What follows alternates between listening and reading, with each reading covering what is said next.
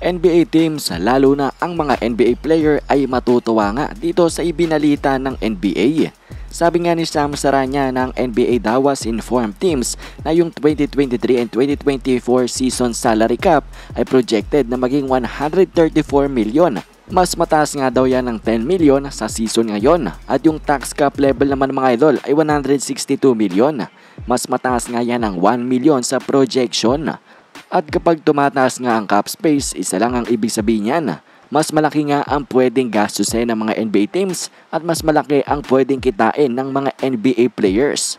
Mas magkakaroon ng flexibility, mas magkakaroon ng freedom ang mga NBA teams. Ngayong medyo malaki-laki ang pwede nga nilang ibayad sa mga players nang hindi nga sila magbabayad ng luxury tax.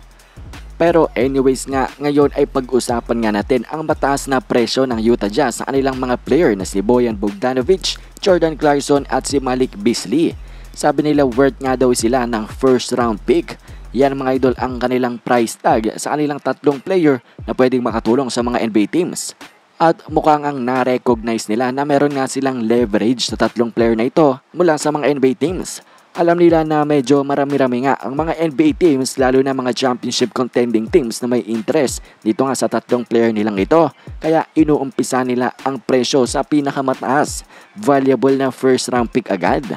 Kaya nga tingnan natin sa mga susunod pang linggo kung magiging successful ba ang team ng Utah Jazz. Dito nga sa kanilang binabalak na palitan nga itong si Clarkson, Boyan Bogdanovic at si Beasley ng tigi-isang first round pick.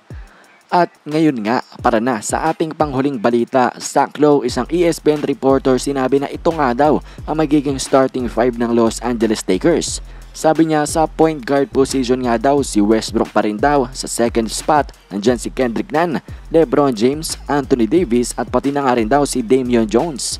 Yan nga daw ang magiging starting five ng Lakers next season na inalmahan nga ng mga Lakers fans. Nadismaya nga sila dito sa possible starting five ng Lakers. Dahil mga idol, hindi nga daw yan ganon kalakas. Wala nga daw ka space spacing para nga kay Lebron James at Anthony Davis na magtrabaho. Parang nung last season nga lang daw. Mahirapan nga na naman daw for sure itong Lakers. mag struggle nga na naman daw sila buong season kung hindi nga mai improve itong kanilang roster. Mag-add ng shooters nga daw around Lebron at Anthony Davis. At may punto naman ang mga Lakers fans na nagre-reklamo. Talaga namang walang spacing itong starting five na ito. Wala ngang solid na shooter na makakatulong sa pag-a-attract ng defense away from Lebron at Anthony Davis. At mga idol, magandang example ng mga player na ganyan ay yung kanilang mga dating player, KCP, Danny Green, na naglalaro din ng depensa.